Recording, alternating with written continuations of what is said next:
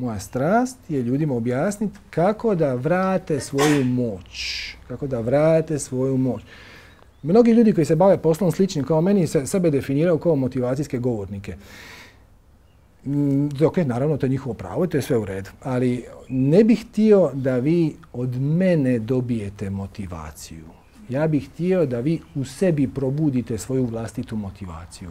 Molim vas, nemojte biti sljedbenici, budite učitelji. Pokupite najviše što možete odavde i unapred pristanite na tu ideju da nećete pokupiti sve. Pokupit ćete kako vrijeme bude išlo dalje, pokupit ćete sve više i više i više. Ali ne ono, ja ću se početi baviti sa ovim što mi tu pričamo kad ja sve shvatim. Ako si shvatio 30%, kreni s time. Ako si shvatio 10%, na kraju krajeva ne možeš ni znati koliko si posto shvatio kad ne znaš koliko toga ima. Sve, kreni sa onim što imaš.